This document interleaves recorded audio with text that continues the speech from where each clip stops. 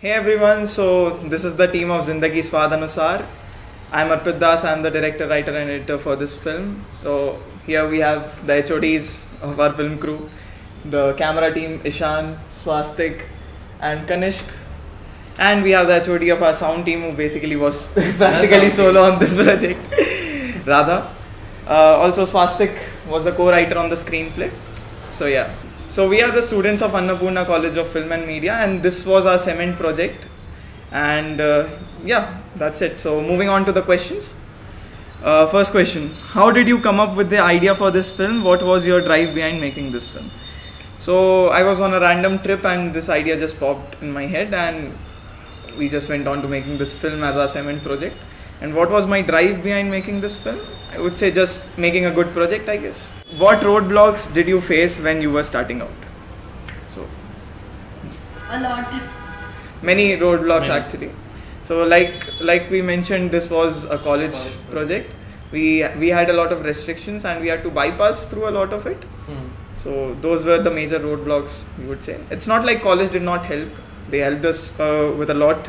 They they were like on the front line on the production. They they got us the set and everything.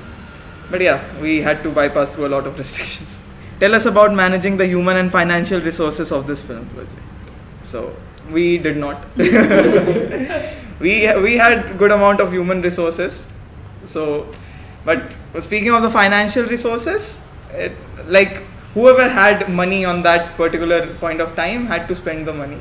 We have no records of who spent how much and anything.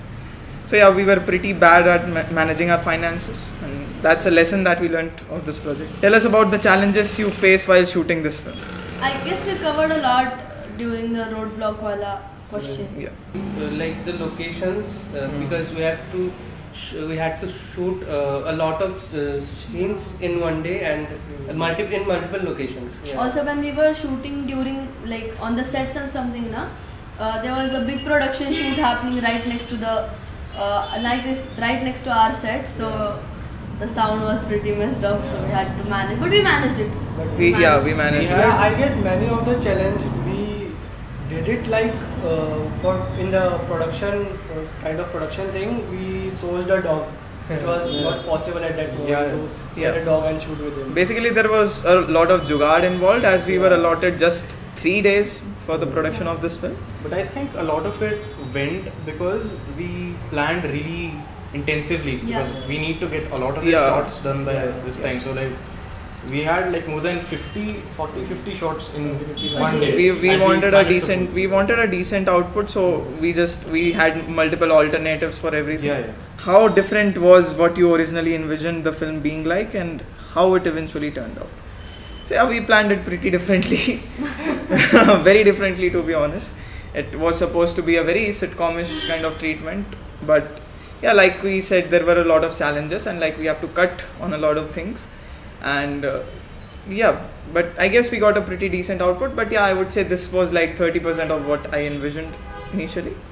But yeah. And also when I and Arpit we were writing, we came up with lot of ideas and Right. subplots and all, but because of the duration, we had yeah, we had a lots. duration restriction as well. Yeah. Which we broke pretty We, bad. We still we, broke we that. still broke that, but uh, but just still, like uh, we. We have more than 2000 plus parameters.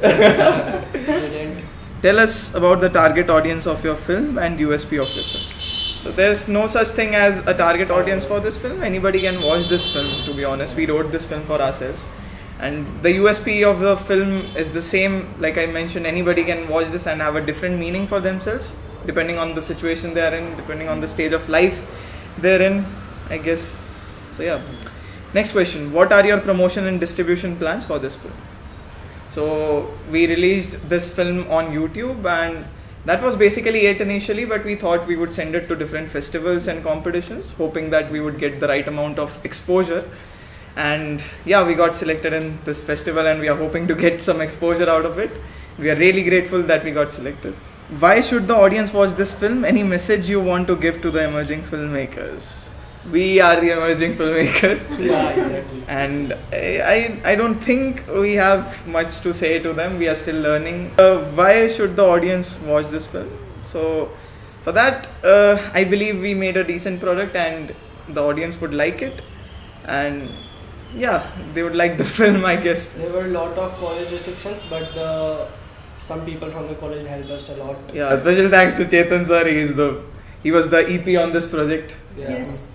Sisla sir allowed us to kind of bypass the rules a bit as Uh, well. HOD of Yeah. cinematography. So our teachers are pretty cool. Yeah. That is what we mean. So thanks a lot for the selection. We are really grateful. Looking forward to the event. Looking forward to seeing all of you. Yeah. thanks.